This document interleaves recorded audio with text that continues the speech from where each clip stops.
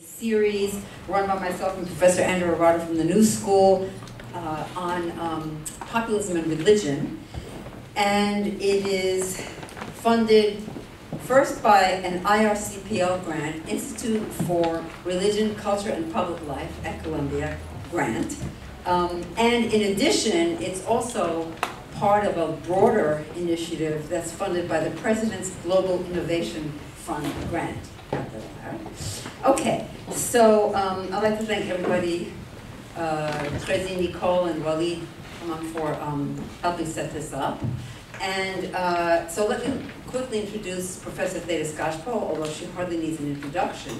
She is the Victor S. Thomas Professor of Government and Sociology at Harvard University. And over the past two decades, her research has primarily focused on healthcare reform, public policy and civic engagement amidst the shifting inequalities in American democracy.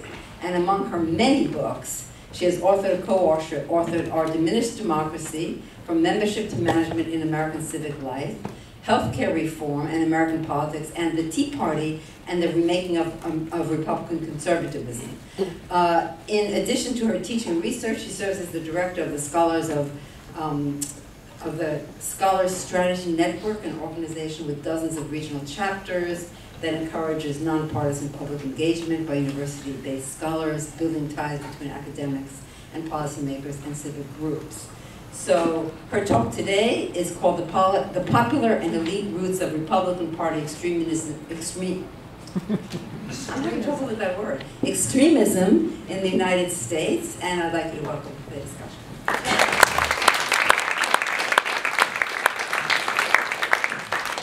Thank you very much, and uh, it's a delight to be back to Columbia on um, another late summer day in uh, November. And I'm looking forward to our, uh, our discussion when um, I, I, get through um, my, my remarks. let me just plunge right in. Uh, there's a lot of debate right now about what the leading threat to U.S. democracy is. You know, right now we're having a resurgence of the Russian interference um, uh, theme. Um, there's a kind of more uh, long-standing uh, view associated with my colleague Bob Putnam and many others, citizen, cynicism, cynicism and withdrawal.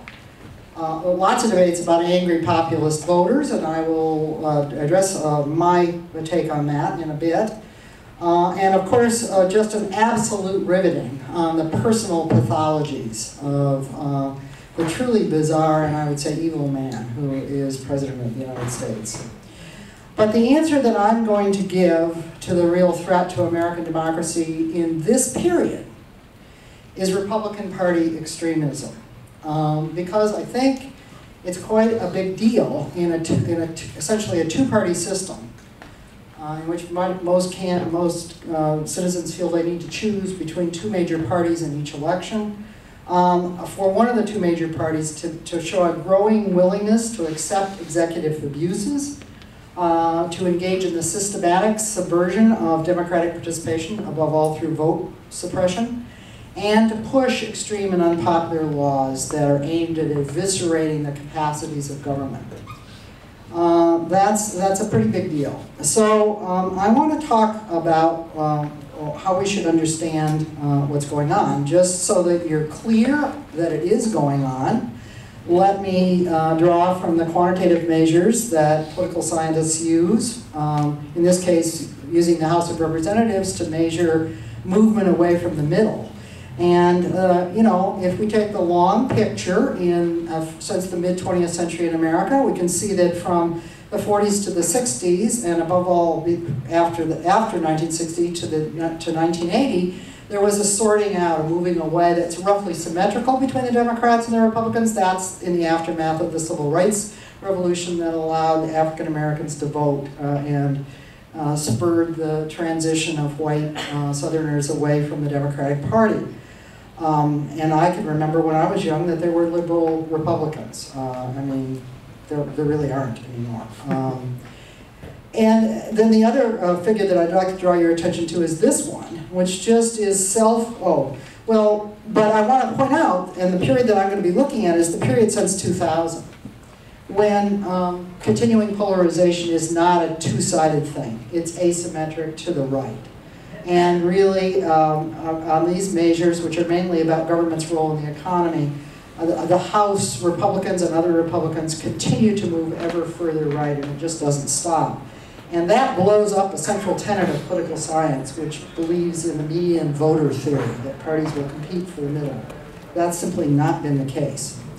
Uh, even in terms of their self-identification, uh, or some kind of objective measure and self-identification combined, uh, Republicans who are ideologically moderate are just disappearing, whereas Democrats are pretty much, you know, standing pat all this time. Now, I'm going to be focusing especially on the question that I'm sure interests everybody now, which is why is this process of Republican extremism, of movement ever further to the nether right, uh, reached most of the debate about why that has happened, I think, has focused way too much on Trump's personality, riveting as it is, and uh, also on demographic categories of mass motivations of voters. Um, I'm dubious about the latter, it's not irrelevant, but I don't think the public is driving what's happening here, public opinion or voter preferences. And I'll make that case during this lecture. Um, but it's, it's really uh, a mistake to try to decipher all of this as a function of Trump personally because he is very much a symptom of what I'm going to be talking about here. He's a very dangerous symptom because he, he's, he's the President of the United States, but he's not the cause. So I'll be developing several themes here as we go forward. I think Trump could seize the nomination, and I'll spend most of my lecture on this because after the 2000s, uh, the, the Republican Party has been boosted and torn asunder at the same time by competing forces of popular nativism on the one hand, first manifest in the Tea Party rebellions in an explosive way, and uh, by extra party elite capture, which I'm going to focus mainly on the growth of the Koch network and its impact, but that's not the only piece of that. Uh, then when we get to the election itself, Trump, it's very important to remember that Trump won the Electoral College. He did not win any kind of national, we don't have a national election in this country. And that was because he was able to get huge non, he was able to rack up huge margins in non-metropolitan, uh, non-big city areas. And he did that not simply with, uh, by force of personality or media, but because he had organized support from Christian evangelical networks, the National Rifle Association, business networks, all of those garden variety Republican networks, and a little extra push from police unions, which I'll say a bit about more later. Uh, and then the final, I'll, I'll get to the end here and talk a little bit about why Trump's presidency is pushing forward full speed with largely unpopular policies, especially when we're talking about taxes, social spending, government's role in the economy. Um, and that's because uh, he's really not in the driver's seat here. He's fallen back on, on, on a network the, uh, that controls uh, government agendas and Republican candidates and office holders across most states as well as at the national level. So, uh, just so you'll know, um, I'm going to be making a lot of assertions in this lecture because I'm going to move through a lot of things to offer a big picture uh, interpretation. And I know there are people who will stand up and go after it in the question period, and that's fine. I'm looking forward to that. But just to mention, I am drawing on three major research studies. Um, back in 2011 to 12, Vanessa Williamson, who's now at the Brookings Institution, and I did the book on the Tea Party, and that involved a lot of interviews with grassroots right-wing activists who formed 900 local Tea Parties across the country, and who, if they're still alive now, are certainly enthusiasts for Donald Trump. Uh, and their successors are uh, like-minded. Um, then um, I, have also been working with Columbia University's own Alex Hertel-Fernandez, Professor Alex Hertel-Fernandez at the School of International and Public Affairs, on um, an ongoing shifting terrain project in which we're really analyzing the cha changing array of organizations operating on the left and the right, nationally and across the states, looking at uh, changes in think tanks, party committees, advocacy groups, constituency mobilizing organizations, and organized mega donor consortia, groups of wealthy millionaires and billionaires who engage in sustained giving that I'll be talking about quite a bit because they're aiming to change the policy agendas and the organizational terrain on which politics occurs, not just mm-hmm. single elections. And that research has led to the new discoveries about the Koch network that I will present shortly. And then just to mention it, even though we'll only make a couple of little cameo appearances in, in two slides, um, after the election, uh, three of us at Harvard, Kathy Swartz, a health economist, uh, sociologist Mary Waters, and I, uh, assembled a team of graduate and undergraduate students, and we're tracking developments in eight pro-Trump counties, um, outside of big cities, one a medium city area, one a town-like area, uh, two apiece in North Carolina, Ohio, Pennsylvania, and Wisconsin.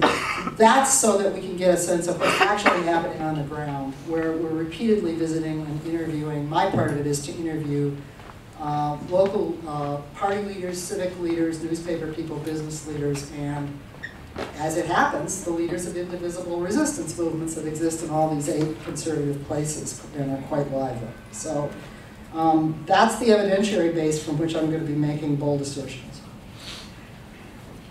All right, so I'd like to talk about the first big piece of this, which is the continuing rightward lunge of the Republican Party in the 2000s. And that has happened because of a convergence of separate but equally potent popular and elite prongs of pressure and leverage on the Republican Party, on its candidates and its office holders. The first one I mentioned uh, just a moment ago, it, it broke out in the uh, months into Barack Obama's presidency when one of these conjunctures that tends to arouse popular uh, anger and fear on the opposite side of the spectrum occurred. That is the Democrats, it's kind of hard to remember this, but there was a moment when the Democrats uh, controlled everything in Washington, D.C., and the presidency and both houses of Congress, and pundits were writing about a permanent Repub Democratic takeover that was inevitable. At that moment, um, a Tea Party uh, upsurge occurred, and some people on the left said it was just astroturf, that it was just Fox News and the Koch brothers. Um, our research, Vanessa's and mine, showed that that was not at all true. We identified ultimately 900 uh, uh, spontaneously, voluntarily formed, regularly meeting local tea parties of conservative activists and uh, newly aroused conservative-minded citizens to the right of the Republican Party that farmed all over the country.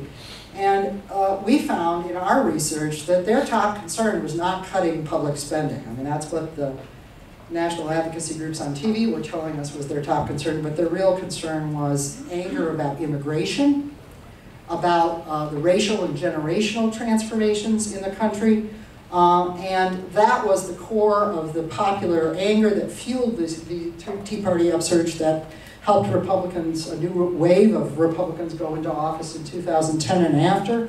And um, at the time we were doing our face-to-face -face interviews with Tea Party activists, that was the spring of 2011. Donald Trump first came out as a birther. And our informants at that point were all looking for a non-Mitt Romney. I mean, you know, anybody. Remember, they experimented with all those other non-Mitt Romneys.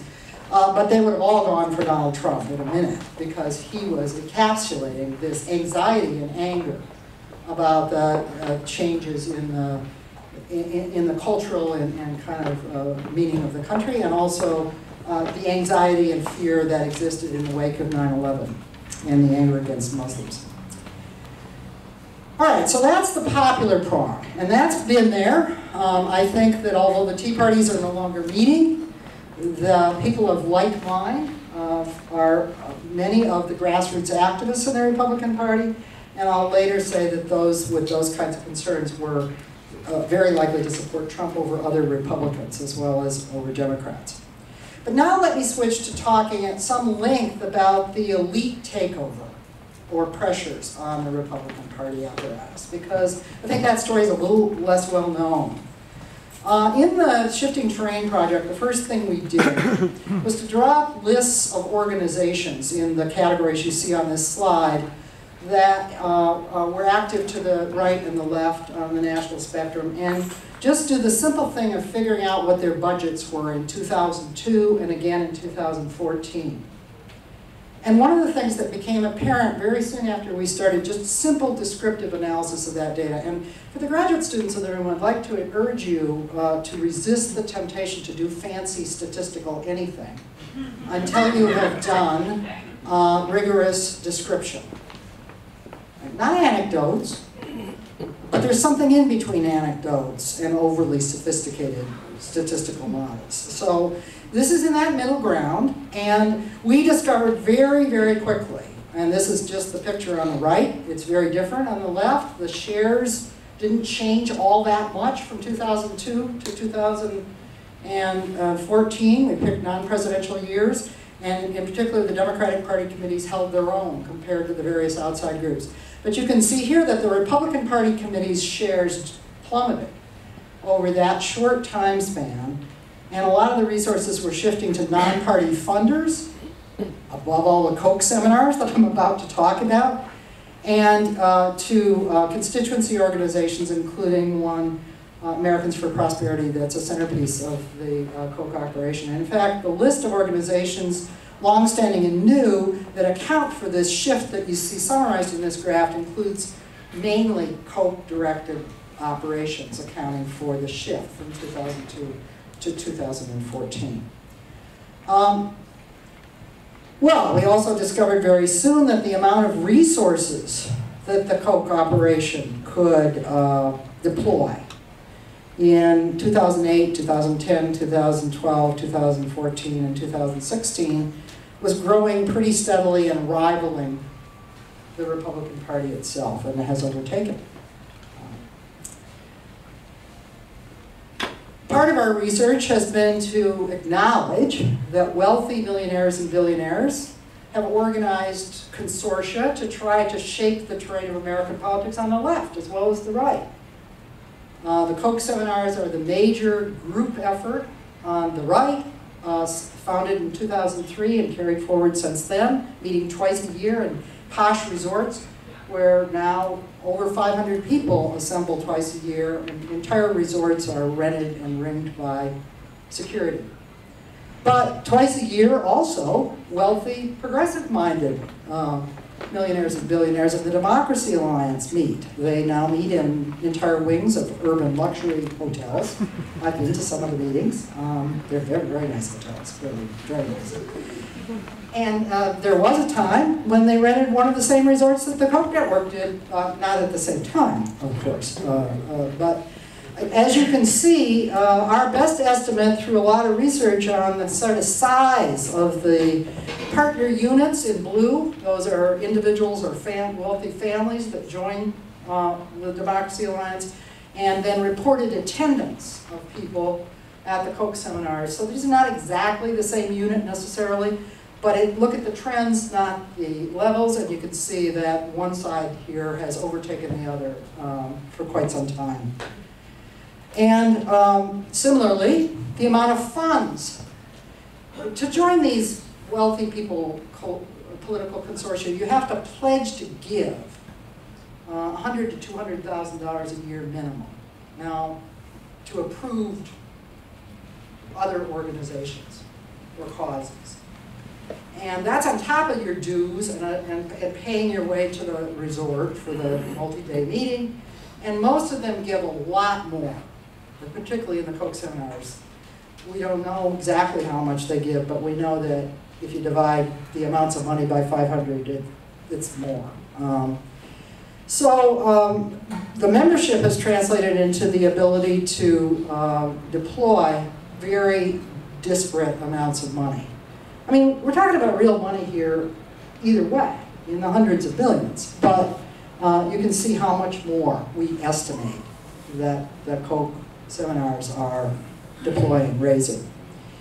Uh, and then the final point I want to make about the two sides, and I, then I'll go back to the Kochs, is that probably the amounts of money are not the most important story. I mean, I could have just stopped the lecture right there if we were at a typical leftist gathering big, and you know, in my citizen capacity, I've been to some of those. Uh, people all argue that it's all about money. It's all money. They've got more, we've got less. Um, and our research suggests that, yeah, that's probably true, although it wasn't always true, it's become more true. Uh, but um, the real story is how the money is spent. And both of these wealthy consortia are in the business of trying to support and, and coordinate and encourage entire arrays of think tanks, constituency mobilizing groups, um, and uh, issue advocacy groups to change not just election outcomes, but to change the agendas of government that are followed by those who are elected. And what we find, we just happen to have, because uh, muckraking journalists on the right and left pick up documents left on the floor or in hotel rooms after the meetings of these secretive organizations. God bless their little souls. Um, right and left alike. We've analyzed those and we happen to have comparable data for 2013-14. And on the left here you see the Democracy Alliance pattern in which they spread 144.6 million to as many as 173 progressive organizations. Um, the blue ones are long-time core things like Media Matters and Center for American Progress. Uh, the red ones are other highly recommended groups but in order to corral rich people on the left, the Democracy Alliance lets them give to pretty much anything they want. And so that's hundred, uh, more than hundred others that count toward that minimum for membership. On the other side, and then we, we, this is only about half the money that the Koch seminars deployed during that year, but it's the half that's reported in tax reports for um, uh, Freedom Partners, which is the sort of bank that coordinates the flows of money in politics. And it, it, its reports show that um, a certain amount of money was scattered around the red part there to a lot of leftist organizations, some business organizations, some gun organizations, some right to life but most of it went to just eight core organizations directly run by Koch operatives whose, uh, whose activities are closely coordinated. So that brings us to what the Koch political network is, because the Democracy Alliance is in the business of raising a lot of progressive money and scattering it among hundreds of causes and issue groups run by professionals. But the Koch seminars raised more money and concentrated it, concentrated on a tightly knit, small L Leninist type operation so you have free market progressivism, and no, no, no. You have progressive market anarchy on the left, and you have free market Leninism on the right. What is that money going to? Well, the Kochs have long supported Cato, Mercatus, the Koch Foundation, and through the Koch Foundation, many university people now, including some of my colleagues in the government department at Harvard. Uh, there was a phase after they got going with uh, ideas, which they take very seriously, that they funded advocacy groups in the energy, healthcare area in particular. Um, but by the time you get to the 2000s, with the founding of the Koch seminars as a mechanism to draw in Mr. and Mrs. Ohio widget manufacturer, lots of people uh, into a like-minded endeavor with David and Charles Koch, uh, and channel their, their contributions, at least half of them, from each meeting through the Freedom Partners, the money is going to a much more tightly knitted, knitted political party-like operation centered on Americans for prosperity, but also with endeavors to gather data uh, and, and, share that data uh, during policy and election campaigns. Uh, and for a time, young people, that's Generation Opportunity, and Libre, reaching out to Hispanics.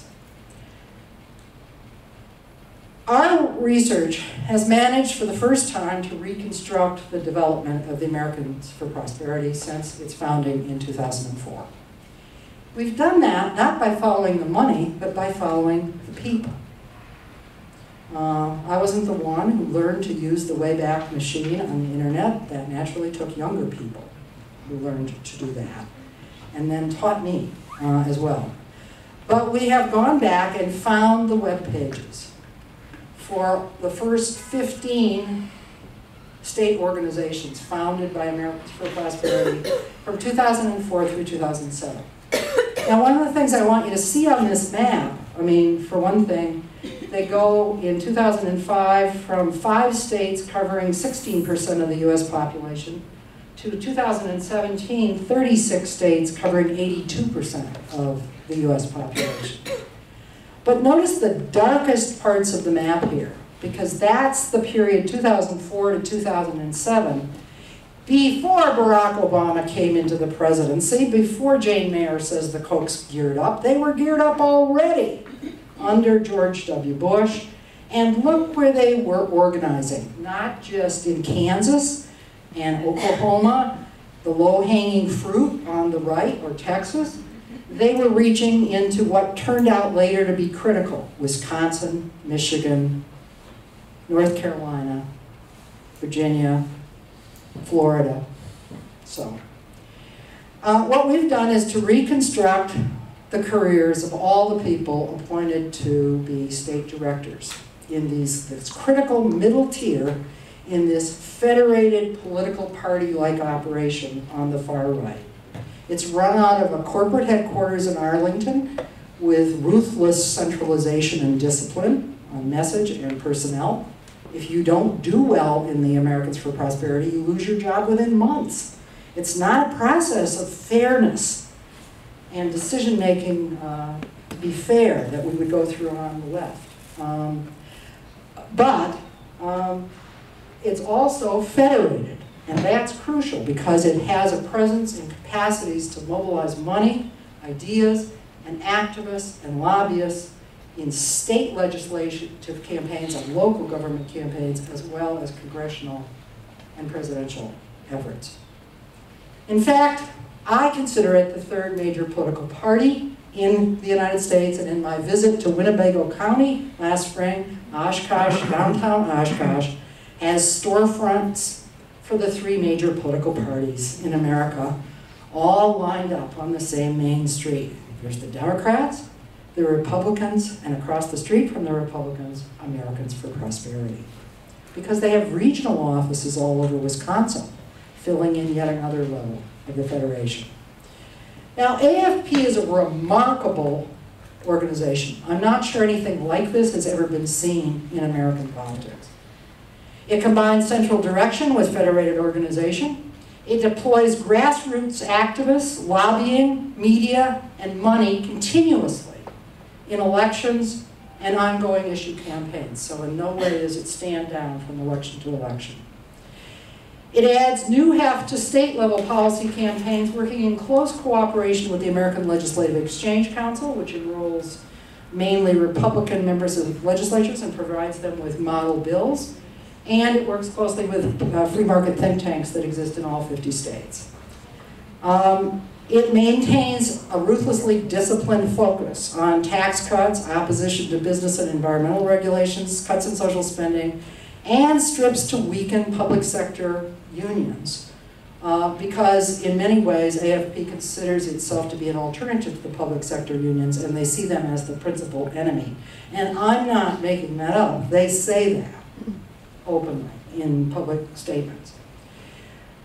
The ultimate reason that it's important for our story today is that AFP has come to parallel and leverage the Republican Party by offering a combination of ideas, agenda items, inducements in the form of support uh, for legislative uh, things and elections, and threats to Republicans who do not go along with what they want.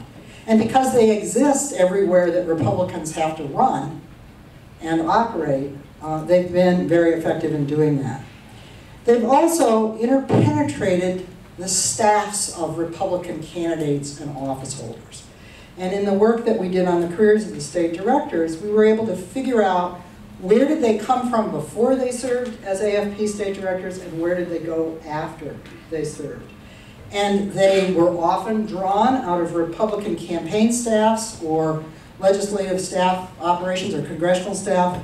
And then after their time in AFP, if they were promoted upward in the Koch network, which they often are, they would go back to higher level positions. For example, Corey Lewandowski, the director of AFP in New Hampshire, became uh, for some time the campaign director for Donald Trump. And uh, Scott Hagerstrom, the long-term head of uh, AFP in Michigan, became uh, the head of the uh, extra uh, Republican Trump supporting effort in the state of Michigan. Um, I'm just going to move very quickly to say that it matters because the Koch network has uh, really induced and pushed Republicans and persuaded Republicans into supporting a whole series of issue stands, particularly on issues of the government's role in the economy, that are not popular with most Americans. And in fact, are not popular with most Republicans in many cases. Uh, for example, most Republicans uh, some time ago wanted to raise the minimum wage, but um, and that continues to be true, but AFP fiercely opposes that. Uh-oh. Um, Opposition to collective bargaining rights for public sector workers is at the top of their agenda, but most Americans don't support that. Um, keeping and improving health reform was always something that most people wanted, and now they really want it. But AFP has gone to the wall against uh, Obamacare and against the Medicaid expansions in the states. Uh, and you can see the others here. We've done specific research, uh, I'll just mention this, to look to see whether when you control for all the other things that might be going on in states that passed anti-union legislation, uh, was having an AFP director, net of partisanship of public opinion, did that help to predict the states that passed it? And the answer is yes. Uh, same thing is true in the work we've done, very systematic work on which Republican states accepted the Medicaid expansions and which did not. The strength of the right-wing networks in the states, including AFP, the think tanks, and ALEC, is a powerful predictor of why Republicans would buck even favorable Republican uh, business opinion in resisting taking millions and billions of dollars to Medicaid for Medicaid expansion to the near poor. So let me just sum up this part of my lecture by saying that long before the latest elections, long before Donald Trump descended the golden escalator, um, both these elite and popular thrusts from without uh, the, the formal Republican committees and office holder corps had uh, pummeled the party and pushed it. And, you know, you can say in many ways they boosted it. Unpopular enthusiasm helped to elect a lot of Republicans when Democrats stayed home in midterm elections. Um, and uh, Koch money and Koch organization, I would say even more Koch organization, has helped um, uh, office holders win office uh, on the Republican tickets, build super majorities in many states. But at the same time that these forces may have boosted Republicans during the Obama era, they were also tearing it asunder. Because the top priority for the popular thrust has always been anger about immigration, determination to demonize Muslims uh, at home and on a world scale, uh, and of course, uh, the usual brew of anxiety about uh, black people and people of color getting too much that they don't deserve. There's also a real anger at young people in America, including people in their own families, and we found in the Tea Party research. But the top agenda for the Koch network is ultra-free market um, policies, including dismantling the Social Security, Medicare, and veterans benefits that are actually the lifeline for many of the popular Tea Party people and the popular Trump supporters now, uh, who will tell you quite openly that they think Americans have earned those and that they should not be taken away. So, um, part of the reason that the stage was set for Donald Trump was that this internal rending, rending had gone quite far, but it had not yet captured, it had not yet uh, created a situation in which Republican uh, elites and their billionaire and millionaire allies lost control of the Republican nomination for president. That didn't happen in 2012. It didn't happen, well, 2012 is the key time. But it did happen in 2015 and 16 because Donald Trump managed to use his media savvy and his explicit appeals to the popular thrust beating on the Republican Party to clear away all of his competitors in the Republican field. just briefly, after I say a bit more about that, in the general election, he again mobilized those popular status resentments, but very much simply to supplement the core GOP networks that swung behind him in the general election. To me, the most interesting piece of data that I have about the 2015-16 election cycle is this uh, survey that was taken by the Pew Research Center in May of 2015. It shows the degree to which ordinary Republican identifiers in the electorate were angry at their own party leaders for failing on government spending issues. That's partly Obamacare, but you could consider just about anything the Republicans were trying to do or failing to do. Anger at them for not taking the steps the popular supporters wanted about curbing illegal immigration and same-sex marriage. And, you know, both uh, Democrats and Republicans were angry at their party establishments, but the anger is so much greater on the Republican side. And that's just as, as we know, about a dozen establishment Republicans were about to start vying for the nomination. So lo and behold, uh, Donald Trump appears. And he's very good at playing the media and he capturing about 40%, not the majority but enough to dispatch a fragmented field of uh, mainstream Republic, well, mainstream very far right Republican contenders that he dispatched one after another and humiliated in the process. Um, we know that um, much of it was playing the media, and not just the right-wing media, but the entire media that was absolutely fascinated by this performance. Um, the research shows that um, about uh, $2 billion of free media coverage from all of the, the outlets, including the mainstream outlets, uh, went to Donald Trump, uh, compared to quite a lot for Hillary Clinton, much less for Bernie Sanders and, and Ted Cruz, the last man standing in the Republican primary, and then you've got even less after that. And uh, most of the coverage of Clinton was negative. Uh, and most of the coverage of Trump was either horse race or he's winning, or isn't it weird that he's winning, or positive. But let me say a little bit more about the deeper trends that fueled the support for Trump, because I'm not suggesting that there weren't some of these deeper trends in the kind in, in the, in, the, in the Republican base that were at work. Um, we, I think it's fair to say that in the United States, as in quite a few other countries across the world, rapid immigration in the recent period has sparked fears. And those fears are express, especially likely to be explosive in the United States in areas of the country that are not big cities, that don't in fact have a lot of immigrants, and where um, uh, people are in smaller uh, communities looking at things play out in the media and, um, uh, and imagining things that might be happening or that are happening on a very small scale. Uh, I'll also say something about the changing religious landscape because Donald Trump received crucial support from Christian evangelicals in this uh, election.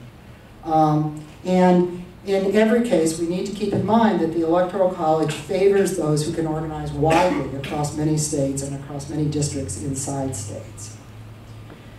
Here's the picture of immigration. Uh, the blue bars are what has actually happened through 2010, and you can see that it's not an all-time high of immigrants in the U.S. population, but it's a high point. The period since 1965 has been a period of rapid immigration into the United States and from non-European areas especially.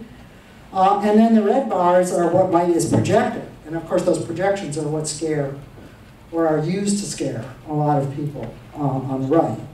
I find these maps that are not very clear to read fascinating, but in 2010, you can see that the largest immigrant group in most states was from Mexico, so it's not at all coincidental that Donald Trump went after Mexicans uh, when he descended the Golden Staircase.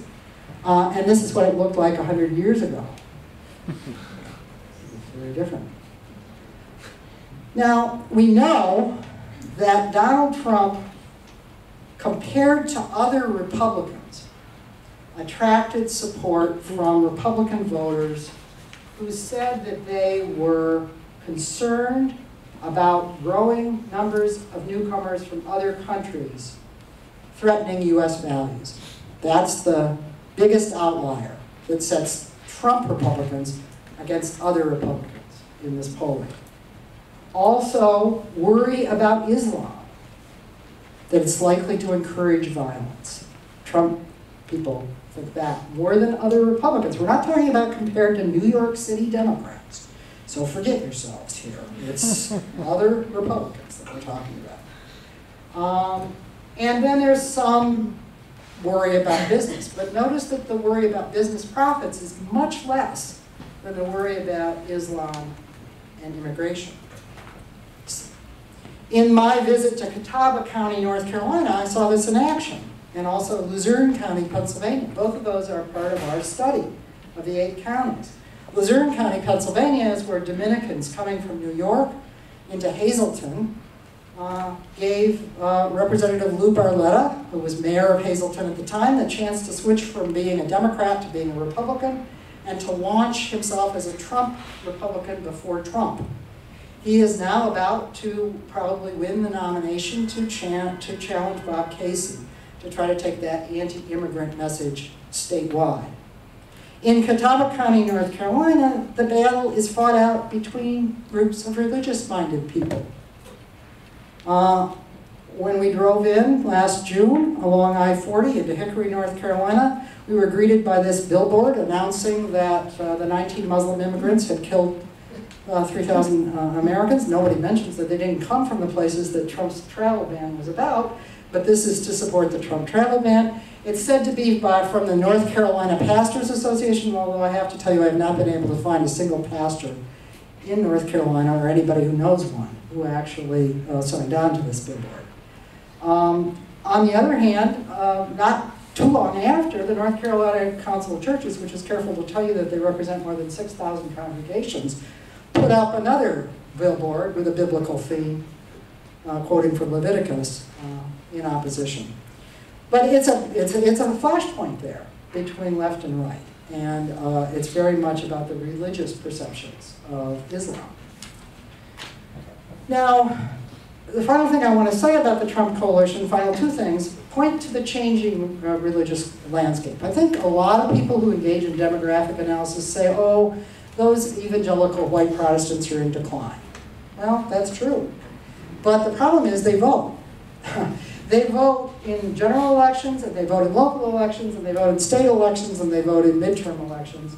And so they carry far more than their weight. And moreover, they are spread out over the geography of the Midwest and the South and the Inner West. So they make a ready-made place. One of my interviewees during the research at the local level told me that he and his friends believed that Trump had been sent by God to save America. I wrote that down in my notes and maintained a, a calm demeanor.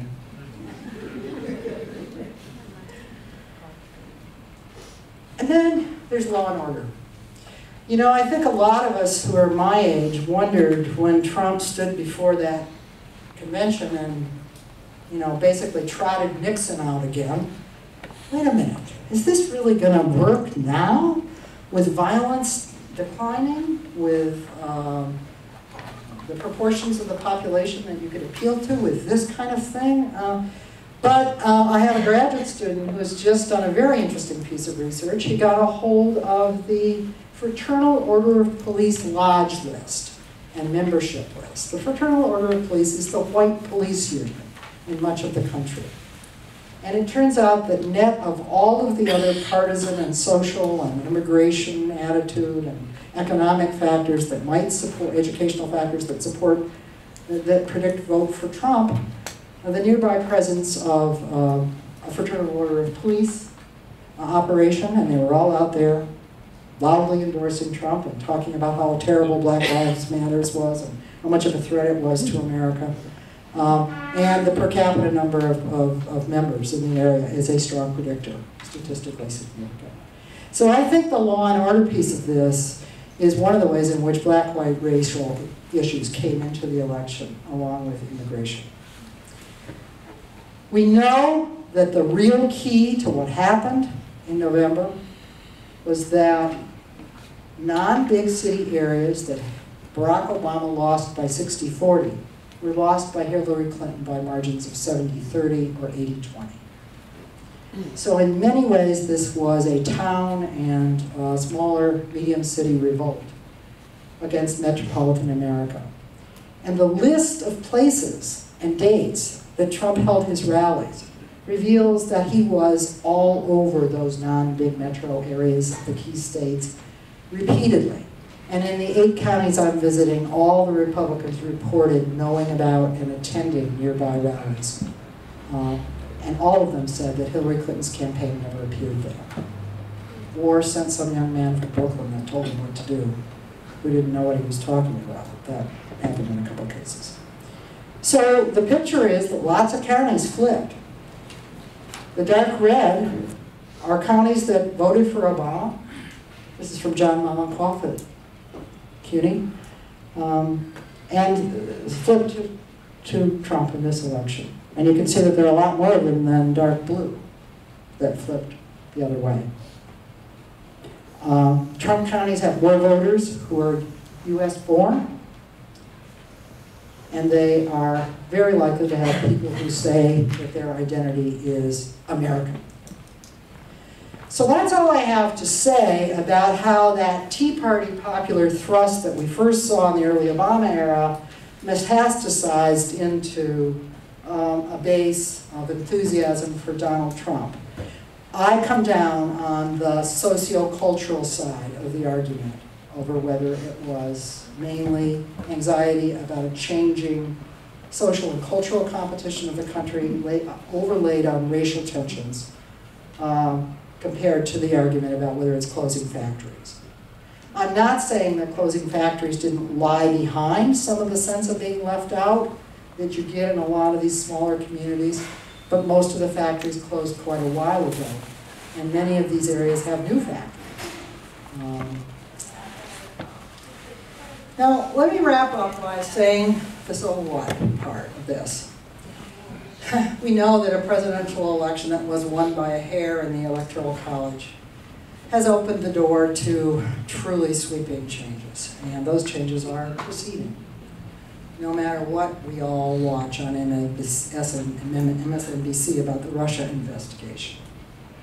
Uh, that's because the Republican Party is at this point a truly radical and mobilized defensive party, and it claims a sweeping mandate to save America, regardless of whether it has any popular majority or pop public opinion. That's partly because of the anger and fear of the popular base over issues of generational and cultural and racial change, but it's also because free market ideologues and supporters of racial ethnic crackdowns, different elite groups, are pressing those radical agendas on office holders and telling them they'll withhold money or run challenges against them if they don't go along.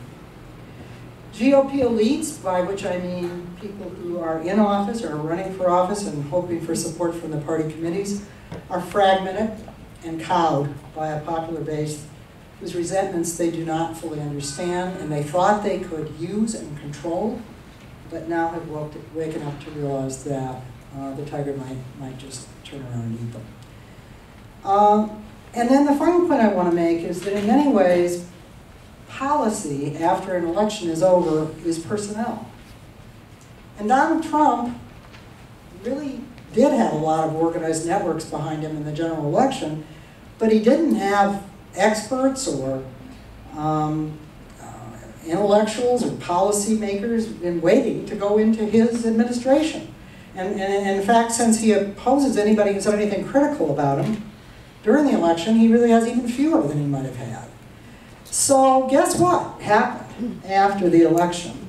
Uh, within days, uh, members of the Koch network, um, experts who had grown up inside that network, key operatives from that network, politicians that had been to Koch seminar meetings and were cooperating with the Koch agenda for many years, suddenly emerged as the people who were staffing the White House and staffing the, especially the domestic cabinet positions. Um, the entire agenda was handed over to them in, in areas like repeal of Obamacare, taxes and spending, the environment. Um, regardless of what Trump had said um, during the heat of the moment in the election campaign. And um, in fact, um, the head of the um, White House Director for Legislative Affairs is Marc Short, the former head of Freedom Partners, which is that centerpiece organization in the Koch network that gathers the money and deploys it. Um, Vice President Pence is a longtime protege of the Koch uh, network, and he was given a lot of say over the agenda. We now know about Betsy DeVos's appointment. Um, there are second level people being appointed in a lot of these places. Um, and uh, they have uh, set out to carry through the agenda.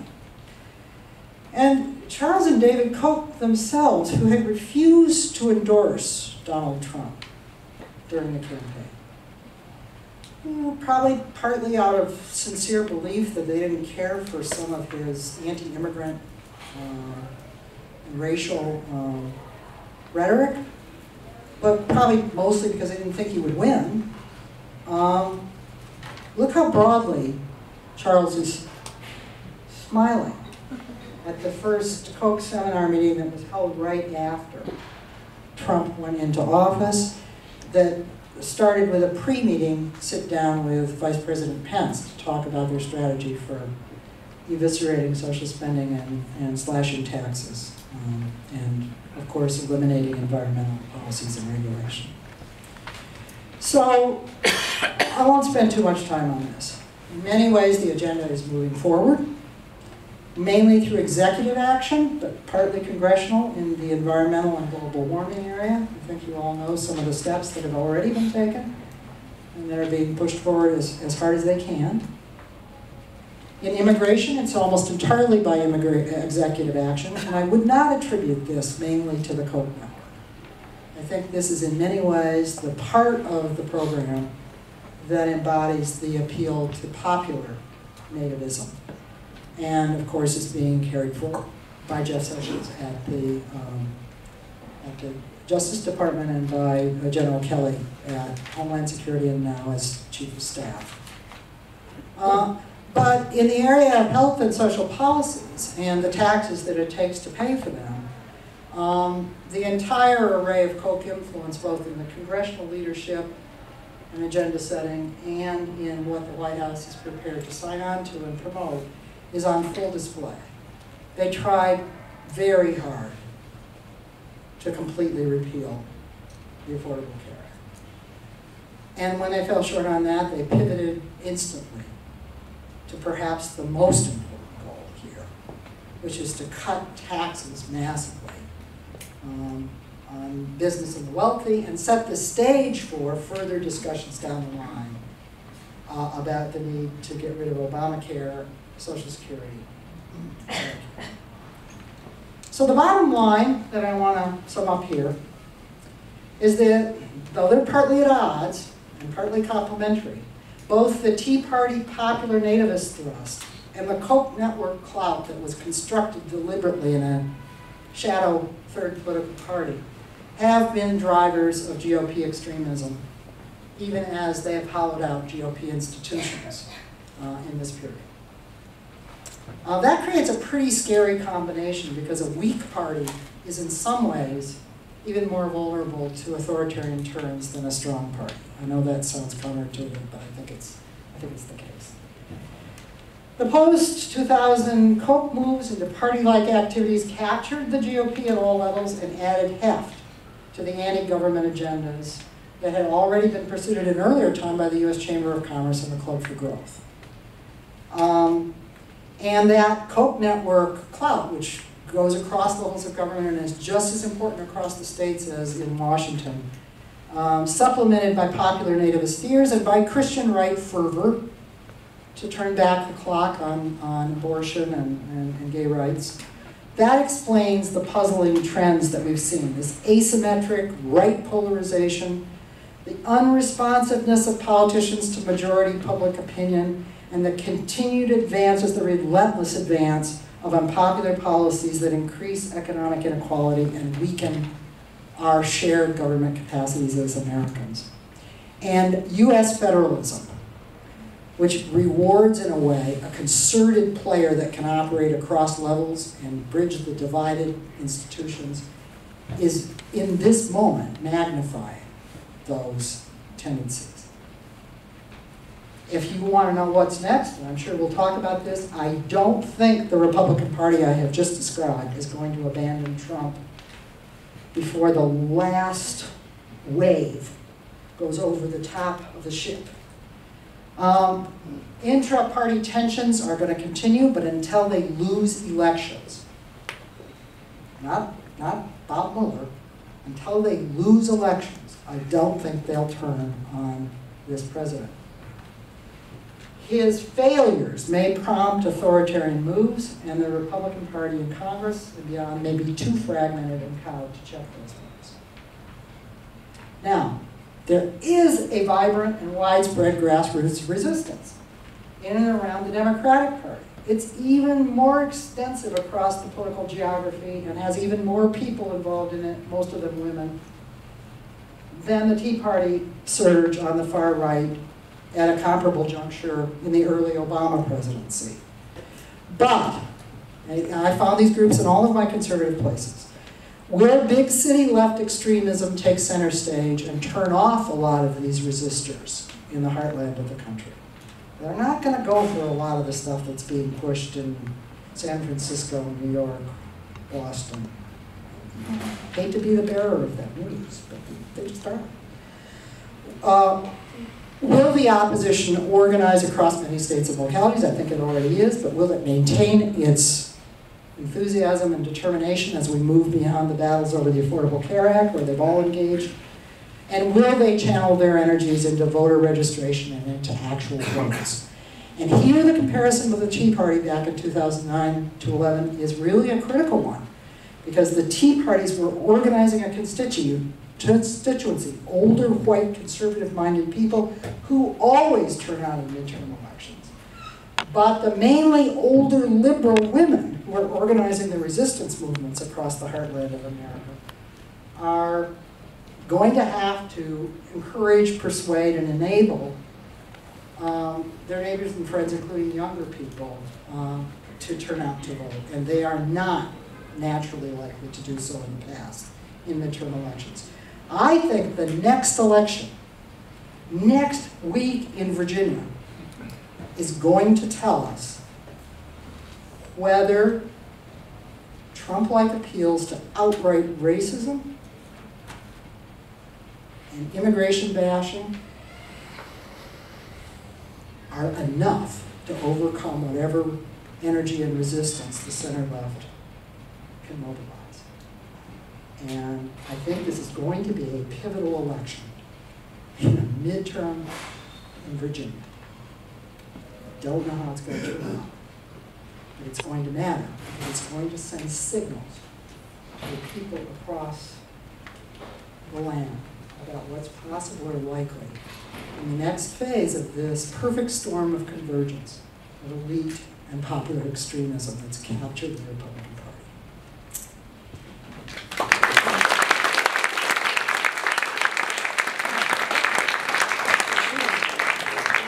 This is on? Yes. Thank you so much. Before I, I take questions and look at hands, I'm going to pose um, Tea Party and Trump supporters. How in particular do we address the religious nationalist populist us versus them friend-enemy identity politics, wherein it seems that the relation of the Christian right to the Republican Party has shifted from being an alliance of autonomous church-based religious believers with the Republican Party focused on some policy goals to what seems, to me at least, to have become a fused, single, extremely conservative religio-political identity. So last week, Roger Smith was here, and he, he addressed the status harms that religious conservatives feel in the context of a secular liberal national culture and what you talk about, their own diminished membership in cloud.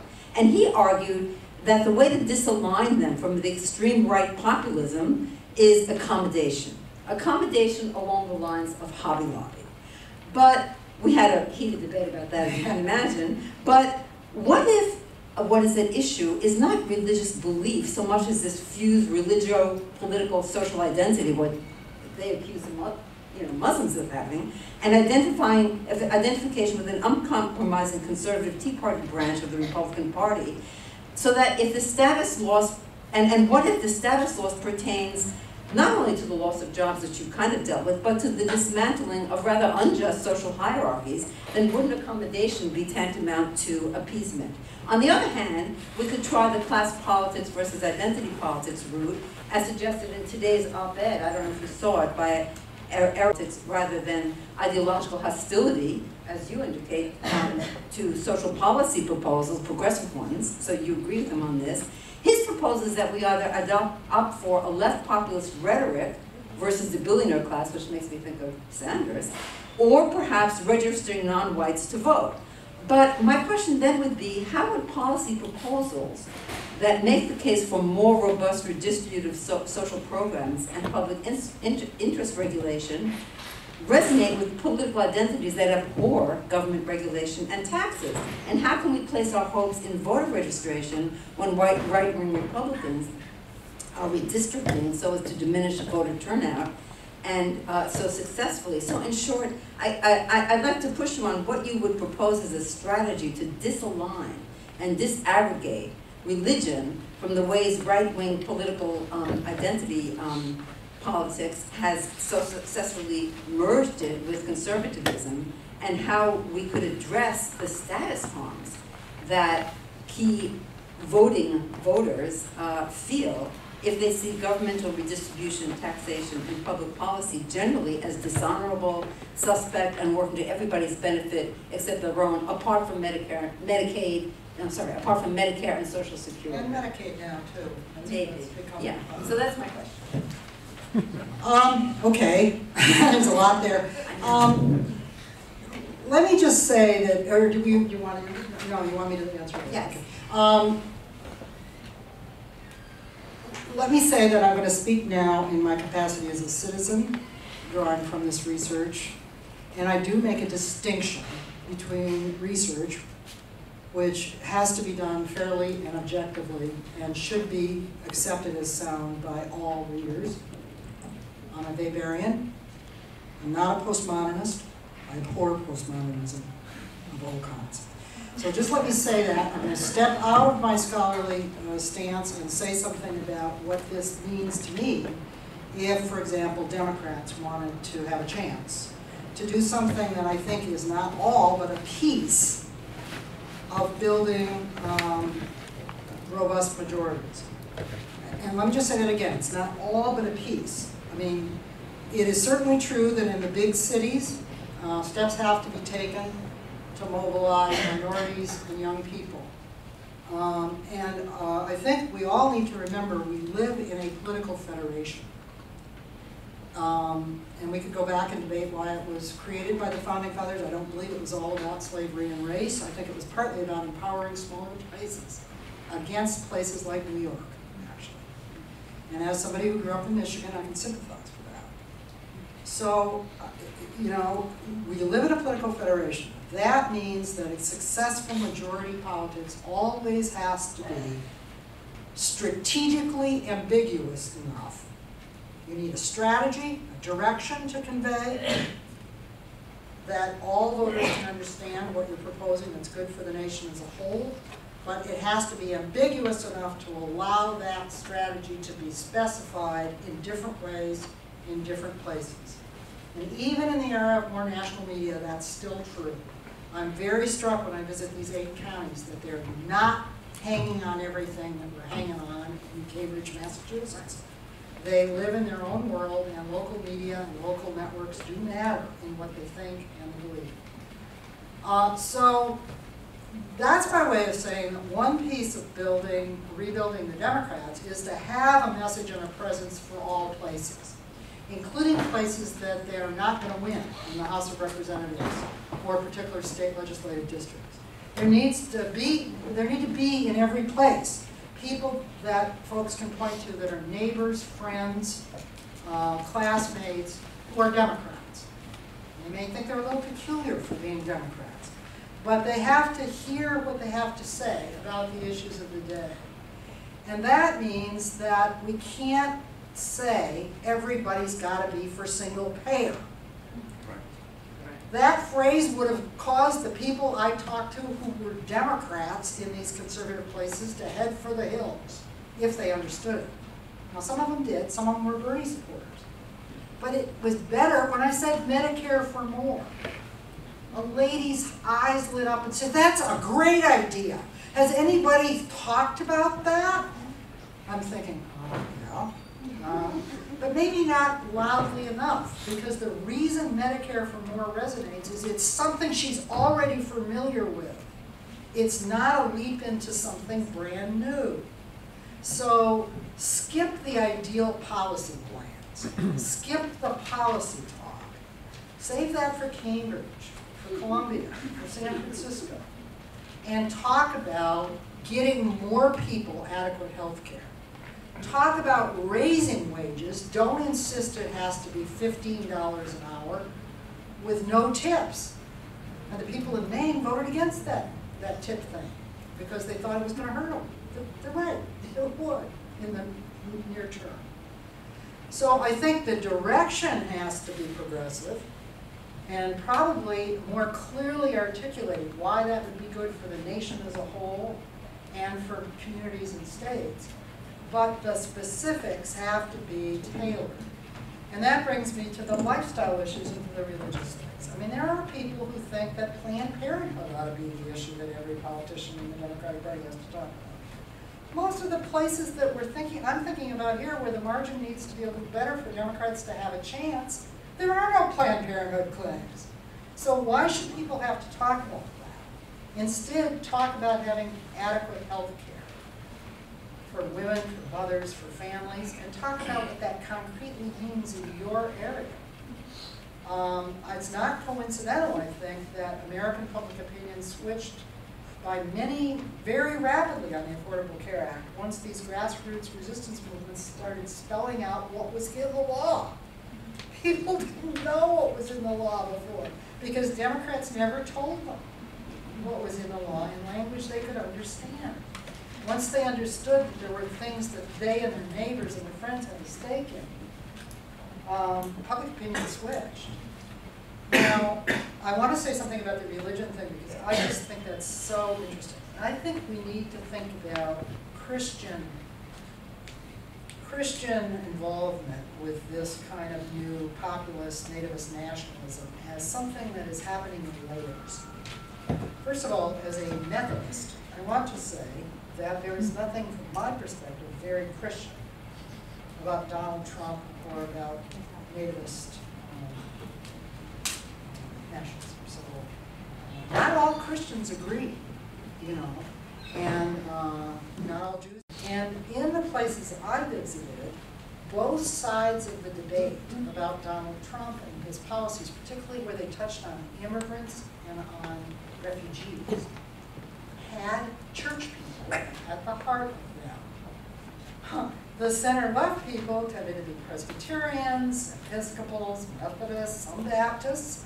I remember the editor in the newspaper in one of the counties telling me in his Baptist church, we didn't think that Trump was really doing Christian things. And he pulled out an article about Christian liberalism in the New York Times and said, do you know about this new movement that's sweeping the country?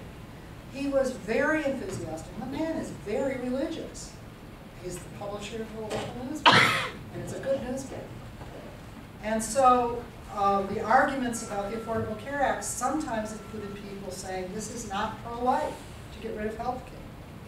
Now, my message would be to recognize that there's a difference between three strands here in the Christian world that Democrats need to be comfortable with understanding and working with different ways. There's a core group of hard-nosed evangelical right-wingers, very politicized, they have been for quite some time, who believe that Islam is evil and that it is not a religion, as my Tea Party informant told me in one county, a political system. They are not going to be persuaded. It would be fine, though, to argue with them about the Bible. I had a little argument with them about the Bible. Um, I don't know.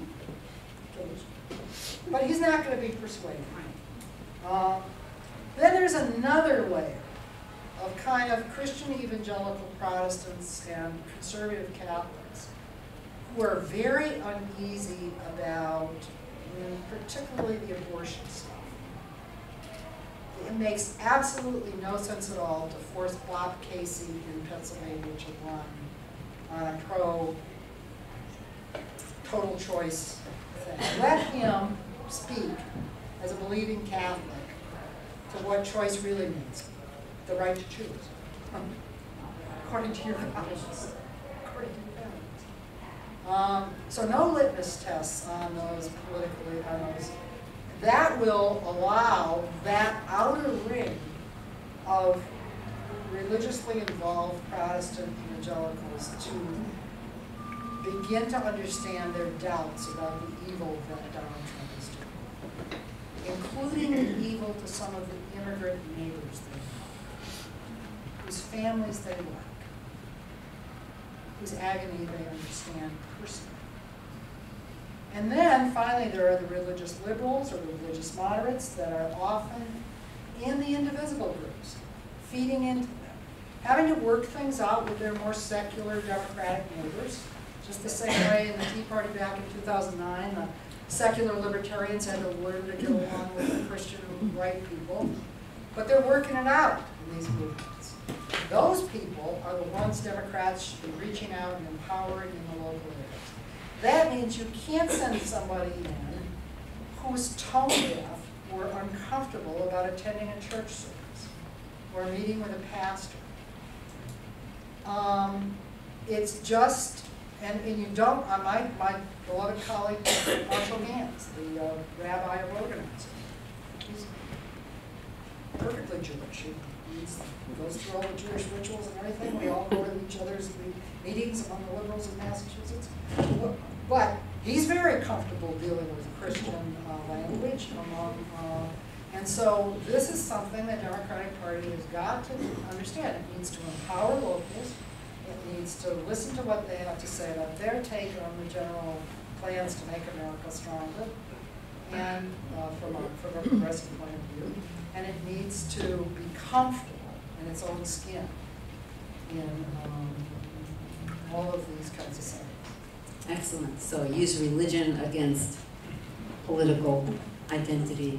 We all know that religion is vast and diverse, and every world religion can justify anything. Anything, exactly. Um, Questions? Nadia? Maybe should take a few. Yeah. And I hope people will identify themselves, Yeah, then because I'll- you may all know each other, but maybe not, and, and I know some of you, but not others, and the purpose of having outside speakers is to introduce yourself to each other. Okay, I'm gonna collect uh, two questions right away. Nadia, please. Yes, Elena Binati here from Columbia, University. Um, more than a question is an observation, because your, pa- your presentation made me understood, particularly also uh, the answer to Jim, uh, there is this incredible discrepancy between the right wing, what you described, they are very radical, very integralist, very one way, so, so it seems. And on the other side, if they are the same, they lose. On the, on the left, on the right side, they win if they are radical, and one way. On the left side, they lose, which is exactly the opposite of what used to be until the the seventies or uh, mid seventies. So my question then to you is the following. Uh, I was very pleased that the answer you gave to Gino did not go toward populism, one populism against the other one. Because what we need to have, and I agree with you, it is the renaissance of a party capable of adapting itself to the local the specificity without uh, uh, ne- neither having this kind of uh, 18th century hyper-secularization, one way of thinking on one hand, and on the other hand, no idea of unifying all into, into a one uh, populistic discourse. This, I think, is crucially important in my view. Thank you. I, I Uh, just say quickly that I really agree that we have to avoid essentialisms.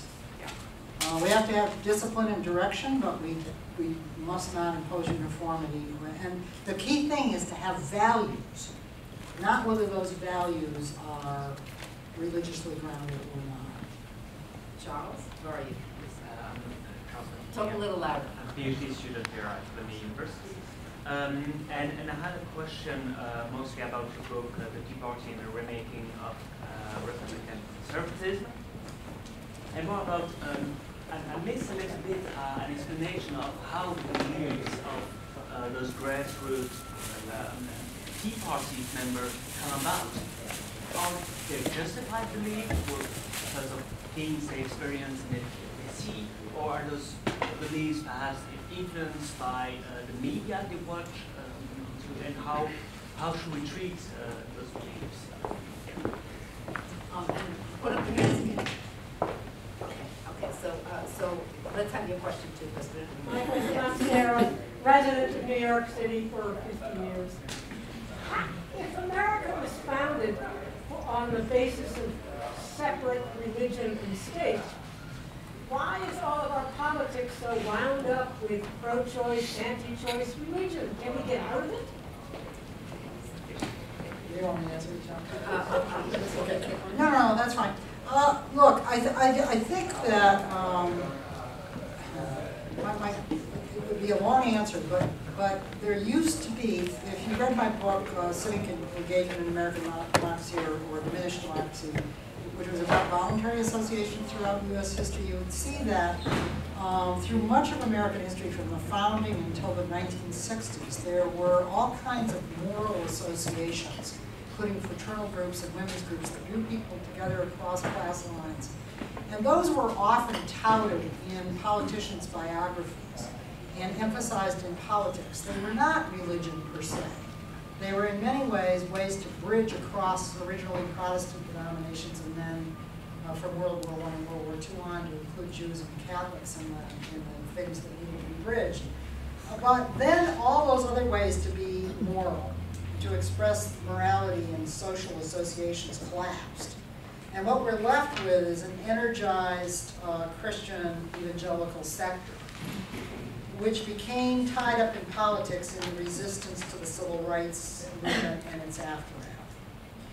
Uh, and then, um, now we're at the final iteration of this, where we're, well, nothing's ever final in history, but we're at the next iteration, where, where basically, um, secularists are beginning to grow up. Um, um, and be assertive about their secularism in a way that, um, probably was never true even in earlier stages. The founding fathers actually were not big Christians. They were Masons. and they were deists. And uh, that's a very uncomfortable thing to talk with conservatives about. But a, a long and short of it is that we're in a period now where the, a certain brand of assertive, congregationally based Christianity, which represents the only source of community for many people, in a very fragmented society and set of workplaces is asserting itself from these smaller non-metropolitan areas against the rise of things that are attracting their children. You see, their children are leaving for those things. So generational tensions are also in. And each side thinks of itself as the real America. They think they're the America that is being that gets into the beliefs. These people, these Tea Party people and these Trump people before them, think America is being destroyed.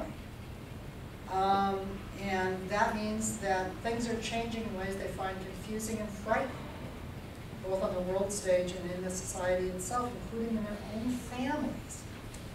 One of our chief findings in the Tea Party book was that resentment of one's own grandnieces and nephews was part of the picture. So that's not just race.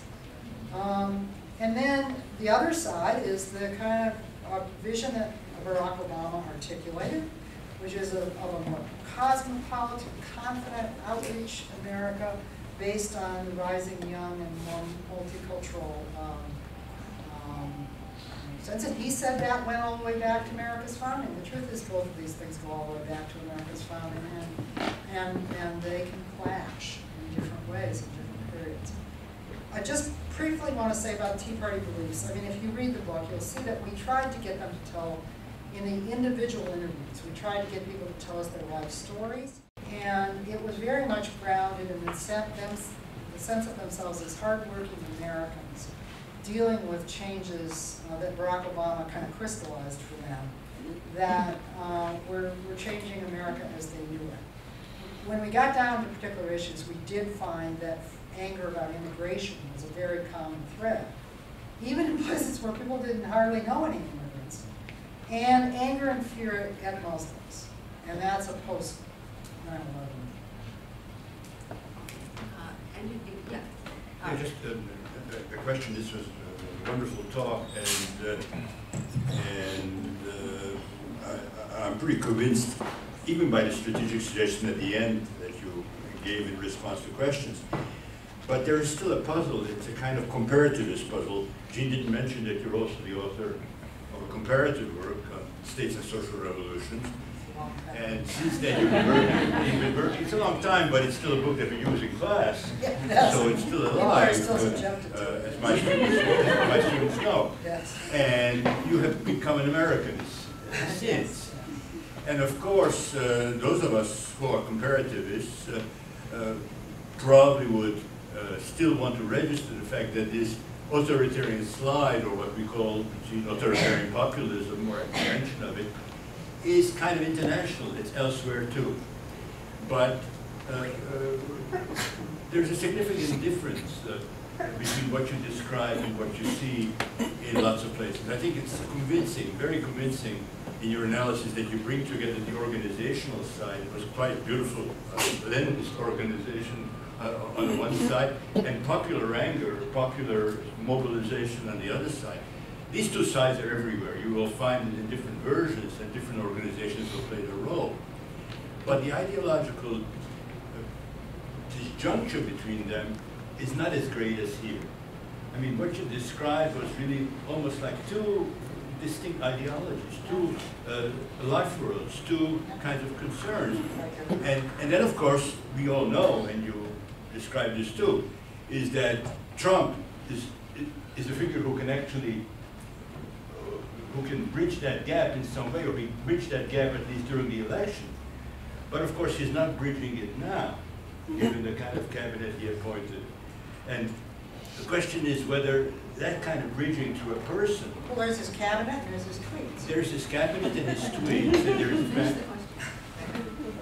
there's a cabinet and his man, and there are the two sides. But is that, is it really possible to, to continue to bridge that gap through leadership primarily? I mean, that's the, that's the issue, because it's certainly not, not the way it works elsewhere. Uh, The populist uh, organizations elsewhere that would play the role that you described to Americans for Prosperity are much closer ideologically uh, to their, to their base. It's true. Well, American politics is more decoupled. I mean, I, I'm not gonna go on and on about the comparative mostly because I don't know enough, but I will say this, that a great deal depends on the existing party system and on the pre-existing welfare state. And also a great deal depends on, on, on where a country stands in the flow of refugees.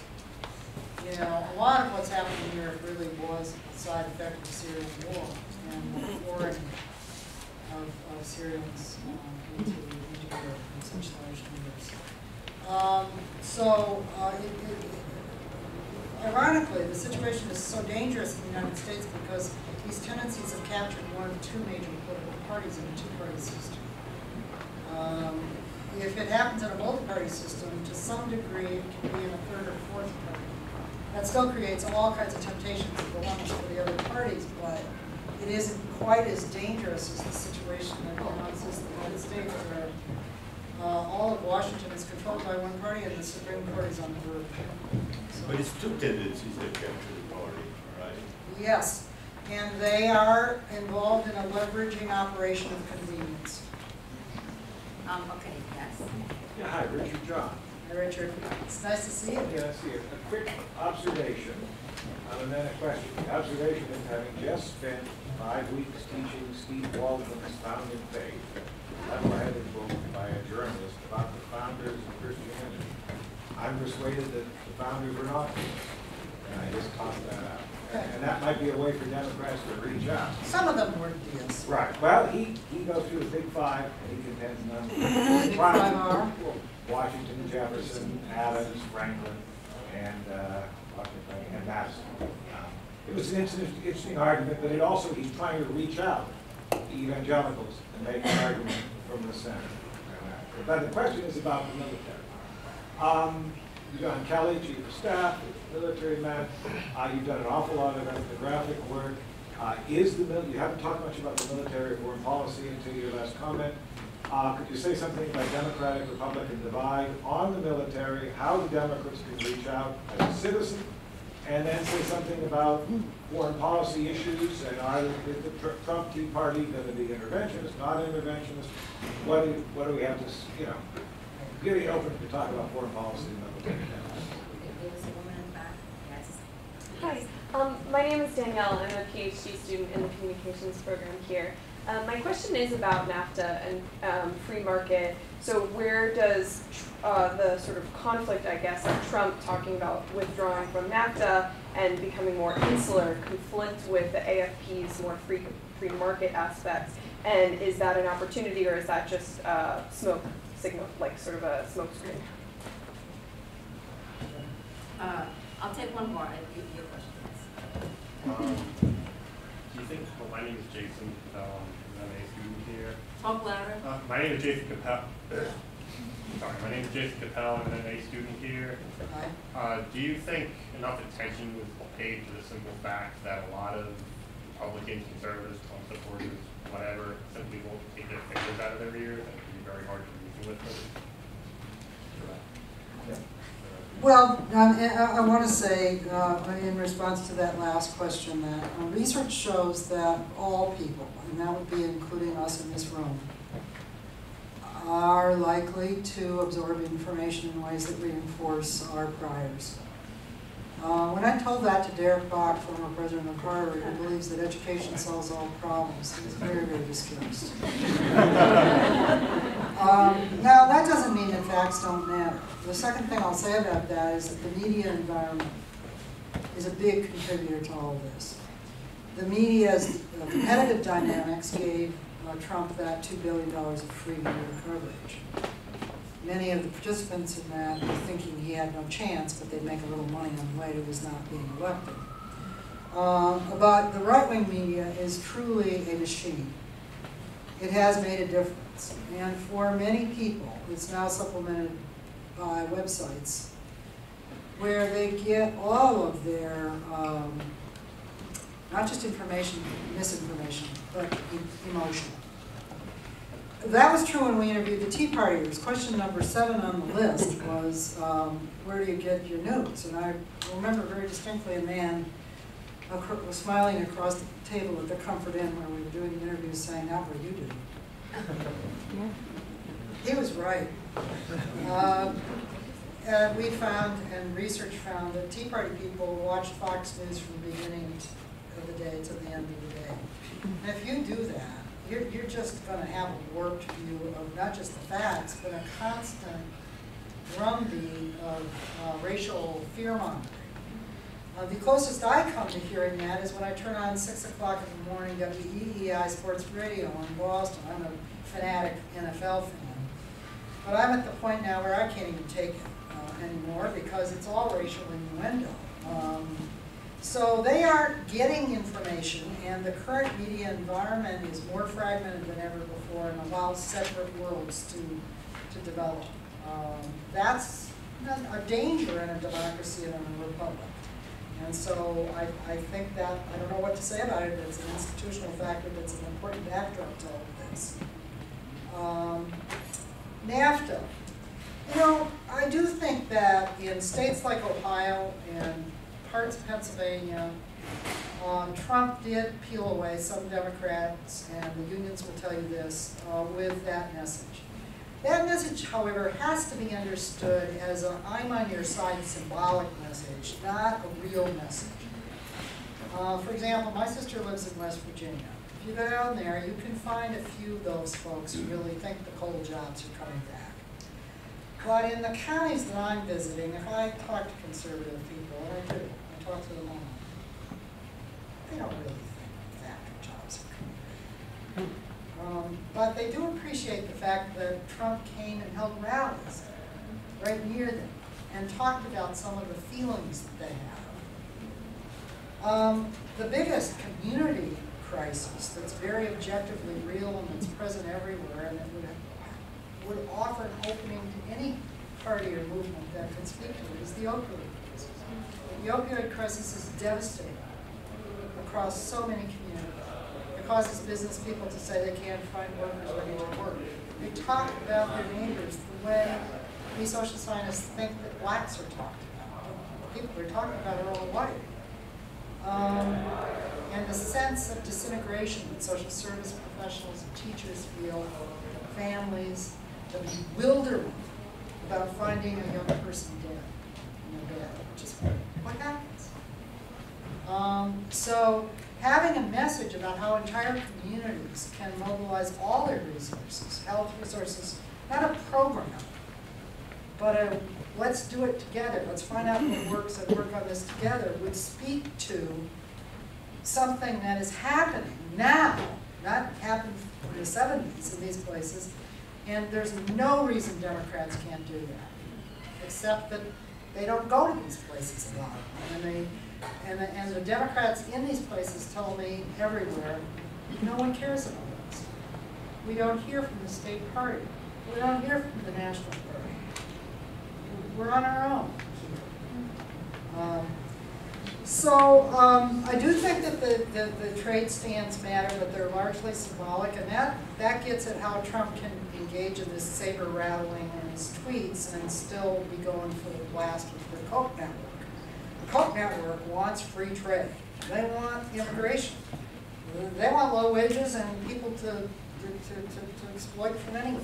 And to the degree that they have sincere value beliefs, and I think they do, they really do believe in a libertarian free market way of looking at things, and they think anybody can pull themselves up by their bootstraps, and they kind of like immigrants. And there are a fair number of people in the business community who do too. And it's not just that they admire that they work for low wages, they also think they should turn up to work on time and they work hard and they want to get ahead. And all these things are, as a matter of fact, true. So uh, I think that, that it can work for Trump because he's actually doing the things that the Kochs want, or at least not doing too many things that the Wall Street editorial board doesn't want, but he's talking a good game. Another message. And then the military foreign policy, I, I, this is not really my, too, too, I do think the military side of this is socially important in the United States. Um, military people tended, tend to be Republicans and they tended to support Trump. But in the eight counties that I visited between late April and mid-July, the only conservatives I heard who expressed the slightest scintilla of doubt about Donald Trump, and it was just a scintilla, don't get excited, were military. Right, so, And one of, one of them said to me, uh, well, I thought he should, Trump should have called Comey in and fired him face to face like Obama did at that general. And I realized after the interview when I went home and thought about it, in the military, commanders cashier people all the time, but they call them in and they do it face to face. It's manly, even if you're a woman. It's family to do it that way. And Trump doesn't, he's a coward, you know, he's a coward. And um, they were known, he was noticing a man. Now, I don't know if that's going to go anywhere. Another retired military Republican leader uh, was disturbed that Trump wasn't staffing the federal government, including the State Department. So, you know, everybody's all excited about General Kelly. He's going to somehow limit all this. We've seen in the last week that military people can believe the nativist nationalism thing, and, and General Kelly clearly does. Uh, that's how he's able to stay as chief of staff. What he would do if Donald Trump decided to to start dropping nuclear weapons, I have no idea. But I'm not real confident. would do the right thing. Okay, so, okay, I'm, uh, Michael, and then, uh, Hi, uh, I'm Mike, a PhD student here at Columbia in political science. Uh, I had, uh, I guess, a historical question. How would you account for sort of the uh, initial move by the Koch network into party politics? Like, what factors made that possible um, during the 2000s? uh, okay, well, that's another question, yes, I, I'm blocking you, no, no, no, no, no, yeah, student, my student, in the back. And then- Go ahead, Nick. I'm. Oh, okay, Not me. go ahead. Well, Go ahead, either Val. or. Yeah. Right, right, go ahead. I'm the only person here Yeah, over yeah. shares. What? Don't be so sure. Okay. All right. Uh, I agree with virtually everything you said in terms of political tactics. But from the point of view of the Democrats, uh, I see a big question. It's difficult to beat something with nothing, even if the something is specious. Uh, And what Trump has and Republicans have is uh, kind of passionate intensity toward a nostalgic view of restoring American greatness. The overall reality is America is declining, the West is declining, and decline is not in the political vocabulary of the United States. And I think in a strange way, Trump saying the American dream is dead, but I'll bring it back to life, versus whatever the Democrats said in regard to decline, jobs, economy generally, left people with a choice, something which is specious and ugly versus, sadly, something that is almost nothing and shocking. Any thoughts on that at all? And Les, where are you? Thanks, yeah. Uh, Rob Goodman, I'm also a Rob, PhD Rob. student at Columbia. Um, I wondered if you could talk a Can little talk a bit. little louder. Yeah, I wondered if you could talk a little bit more about what you call the market anarchism among the uh, left-wing billionaires. Um, What are some of the factors driving that? And I also wonder if, um, now that they're more aware of the success of the Koch strategy to be more coordinated, if they're considering changing tactics, or if they can't because of some structural constraints on them. Okay. Um, okay, let me, um, take these in turn, they're all good questions. Um, and I, sh- I should say that, um, Alex Hertel-Fernandez and I and our, our, our colleagues have, have published some things. So there's a paper on the development of the Koch Network that appeared in Perspectives on Politics, the uh, outreach journal of the Political Science Association in September of 2016. It really answers all these questions about what the network is and how it evolved. Um, and then, um, and we're continuing to do more work, and then, um, a paper that should still be on the APSA website that was presented by Alex and Vanessa and I, comparing the Democracy Alliance and the, uh, um, uh, seminars, um, says more, a lot more, about the evolution of the Democracy Alliance, which I only briefly touched on here. Um, the Koch network moved into party-like politics. You know, the best biographers of David and Charles, and there are only two of the four brothers, are very clear that they've been concerned with a sort of free market libertarianism for a very long time. And their first forays into that were to fund idea creation, and that, by the way, is continually intensified, so they're not giving up on that at all. They've changed their tactics. They've figured out that university people can be bribed to do just about anything. So you don't have to set up standalone um, operations. Um, That's a little crude. I mean, we all take money, and we do too. So I, I don't, I'm not impugning anybody's integrity. It's just that if you offer money for research, people will come up with plans to do it. Um, So, um, they started with ideas, then they moved into issue advocacy and experimented with the Libertarian Party. And I think what's remarkable about the two brothers, particularly Charles, and whoever it is that's been advising them, and apparently it's this guy Fink, who I would love to interview. Um, they think about what works and what doesn't and change things. And because they are authoritarian industrialists, they can change things. I think those things are probably related. People are likely to think about what works and make changes if they could change things. So that's part of the explanation of the greater adaptability. Uh, but I think they realized under George uh, Bush Jr., uh, the younger Bush, that just influencing the Republican Party with contributions to individual politicians and issue advocacy wasn't working because Bush went off in directions both in foreign policy and domestic that they hated. So that's when they teamed up with Tim Phillips, who came out of the Christian right world and who obviously played a very important role in helping them understand the federated part of Leninist Federalism. I would love to interview Tim Phillips. I'm trying, but I'm not sure they're going to agree. They read our work, they cite it in their prospectuses to their donors. Uh, so they know about our work, and they've changed their websites to try to frustrate our data gathering. But I don't know that they're going to talk with us, and it's only by talking that you get that final piece of understanding where the ability to figure out some of these fascinating organizational and structural things about what works in America came from. Um, on the DA side, and I, I will come back to the something for nothing because it's a powerful comment. Um, on the DA side, um, please read the paper, but from the beginning, the Democracy Alliance was trying to kind of herd millionaires and billionaires who are liberals. Millionaires and billionaires who are liberals tend to be heirs of fortunes rather than still active businessmen. And they kind of, they have relationships with professionals who do good work in the advocate, liberal advocacy work. They tend to believe in the causes and the policies or the identity groups that those various professionals are tied into.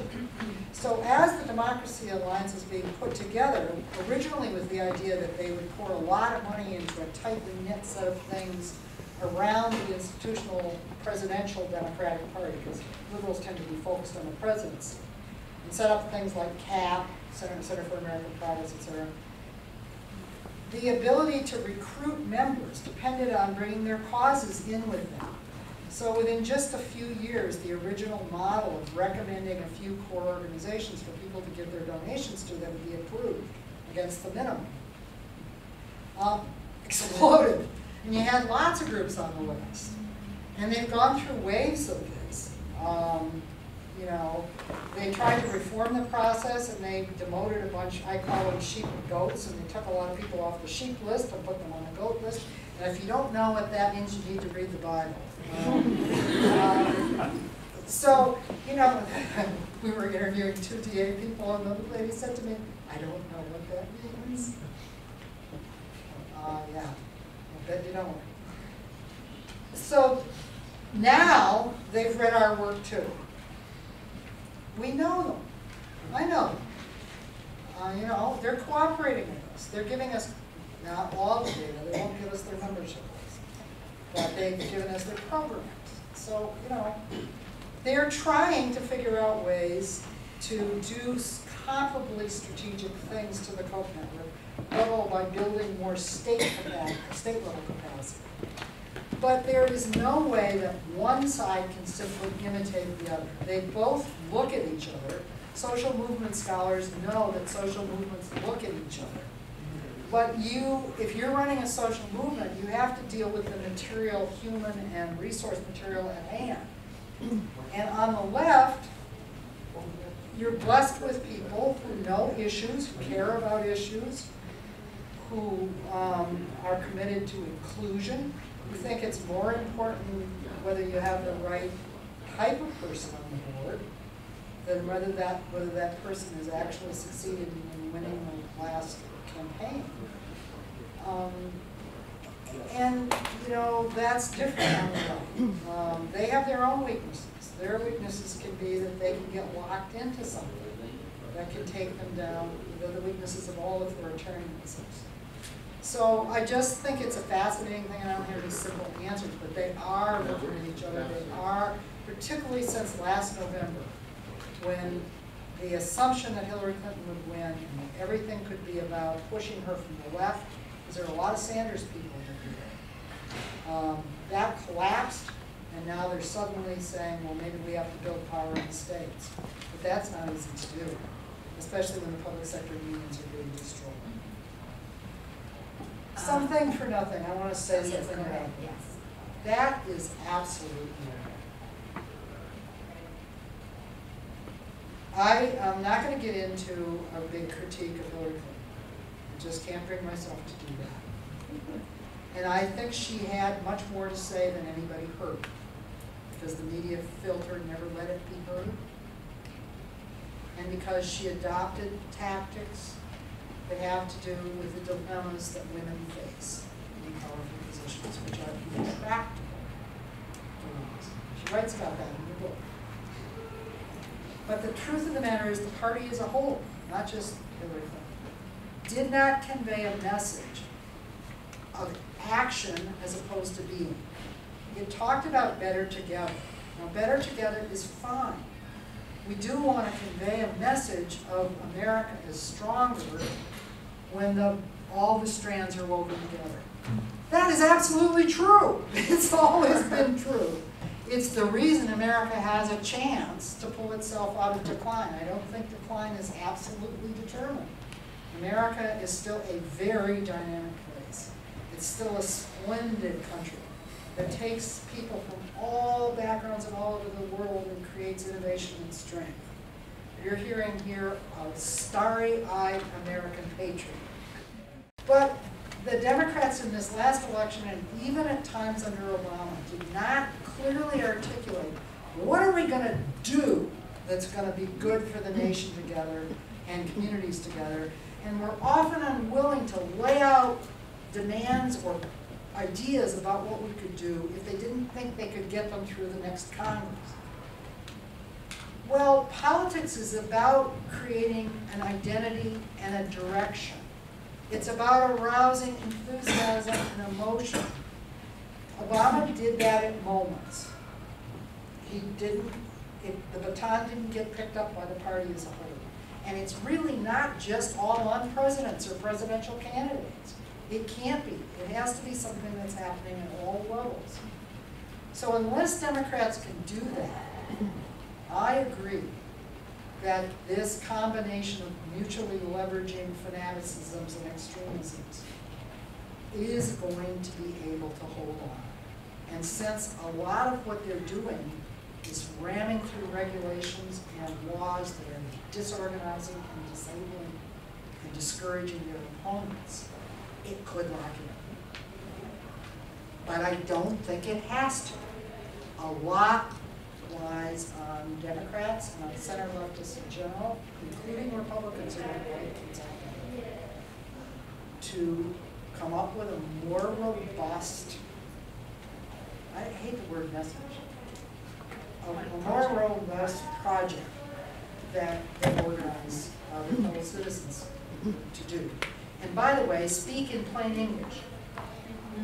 Skip the policy talk. Um, I hate that. Uh, I want to ask one, uh, I mean, I want to ask one more question. Um, where, we talked about this on the way, um, since you mentioned Clinton, where would you put the gender issue? Right, um, not just about Clinton in the election, but about the politics, because I think that's also not, there's not enough attention paid to it. It's complicated, because of course there are many Tea Party um, organizers who are women, but the message uh, about gender is very patriarchal. So where, how would you decode the gender dimension of all of this? Well, I mean, I think gender is all over. Um, not so much the Tea Party and, uh, I don't want to talk about the popular thrust in those terms. When, when Vanessa and I did the work on the Tea Party, we were urged by people to say that it was patriarchy. And we, we had a hard time saying that because we were seeing a lot of women organizers. The truth of the matter is that women organize things. When there's volunteer organizing going on, it's women. And there are plenty of women who voted for Trump. Um, and they did so out of sincere conviction that he would represent values that they hold dear. And I just don't know who it is to say to them that they are not, uh, I just, um, I'm not a postmodernist, but I, I am a fellow citizen. And I accept the fact that citizens have the right to puzzle out for themselves how they are going to put together what they believe want um, in, in an election. And, you know, so let me just set that aside and say, though, that the Trump message, which we know did predominantly attract non-formally college-educated men, that the gap, the gender gap grew, grew that way um, in this election. Uh, and a fair number of college-educated Republican men who had a lot of doubts but voted for him in the end. And I think that his constant belittling of women, and that is absolutely been a constant throughout the campaign, it's there right now, is replacing Janet Yellen with somebody who supports all her policies. Now, maybe it's because he's a Republican and she's a Democrat, okay, I'll, maybe. But one has the strong suspicion that the last thing he was gonna do is keep a woman in a key position like that. Because he goes after Sonia Sotomayor and Ruth Bader Ginsburg. Interestingly enough, not Elena Kagan yet. Don't know what that's about. But it, uh, Hillary Clinton, the constant, um, belittling. And I think that that was almost strategic on his part as well as visceral. I think he understood that it, we are in a moment in this society where there's a lot of tension about immigration, about our place in the world. There's a continuing and new versions of tensions about race, particularly with the Black Lives Matter movement and the, and the horrible incidents of police violence that uh, got national attention just going into this cycle. But there's also a lot of tension at all levels of American society about the changing role of women. Come on, I've lived through this. I can tell you, women's role has changed enormously in families, workplaces, in the professions in the last half century. And all people in this society, and women alike, are dealing still with the unsettled results of that. So at an unconscious level in the case of many educated professionals, men and women alike, and at a more conscious level for many working class people, men and women alike, there's something cathartic and acceptable saying it like it is about those other people. We're out of place. And he knows that, and he's doing it, and I think it is a source of his strength. And for Hillary Clinton, it was a terrible dilemma. She decided to run for president. Democrats decided to get behind her, and make no mistake, uh, about it. Many millions more Democrats voted for Hillary Clinton than voted for Bernie Sanders in the primaries. Don't give me any of this nonsense about him being Democratic preference. Unless we want to rule out black and brown people. And I don't think I do. She was the Democrat's choice. But that choice was made before anybody knew it was going to be Donald Trump, before anybody could even imagine. In retrospect, it turns out Joe Biden would have been the right choice. Um, and almost everybody I talk to in the conservative world out in the local communities tells me they're pretty sure Biden would have won. Uh, but, you know, by the time it was Donald Trump, look at what she had to deal with. The constant humiliation. At least she handled it with dignity, didn't she? From beginning to end. But I don't know that she had an answer for it, and it worked. I do think it was part of the input of both he got for many men. Um, some of them